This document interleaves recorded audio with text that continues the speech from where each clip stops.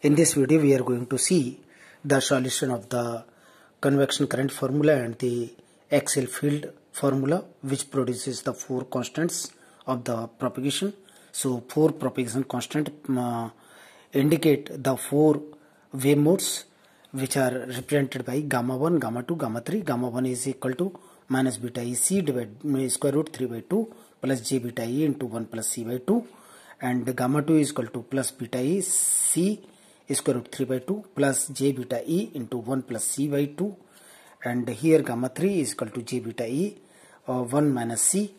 And uh, gamma 4 is equal to minus j beta e 1 minus c cube divided by 4 and where c is equal to i naught z naught divided by 4 to the power 4 v naught divided to the power 1 by 3 and here uh, power gain has been represented by ap in dB is equal to minus 9.54 plus 47.3 nc and it is in dB where n is equal to L by lambda e beta e is equal to 2 by lambda e where n is circuit length beta is equal to omega by v naught c is the gain parameter l is the length of the slow wave structure.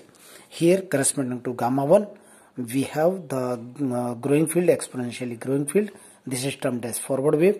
In this condition the phase velocity of the electric field is less than the phase velocity of the electron of the electron beam. And in this mode the beam uh, of the uh, beam of the electrons transfers the uh, energy to the axial field and amplification takes place. Whereas in the corresponding to gamma 2 mode here we have the phase velocity of the axial field is less than the uh, electron velocity. And uh, the axial this axial field is getting reduced exponentially and it is getting decaying. This also is uh, indicating forward wave.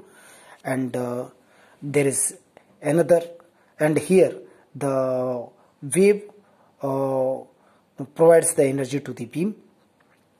And uh, whereas in the next forward wave corresponding to the uh, gamma 3 mode and we have the phase velocity of the axial field greater than the velocity of the electron in the electron beam. Here the uh, field remains constant and uh, no energy uh, transfer takes place. In the gamma 4 corresponding mode where the phase velocity of the wave axial, field is greater than the velocity of the electrons in the electron beam.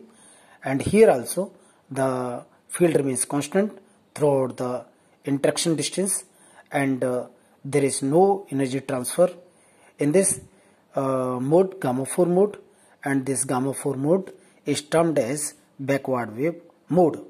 Whereas these three uh, gammas values gamma 1 gamma 2 gamma 3 indicate the forward waves.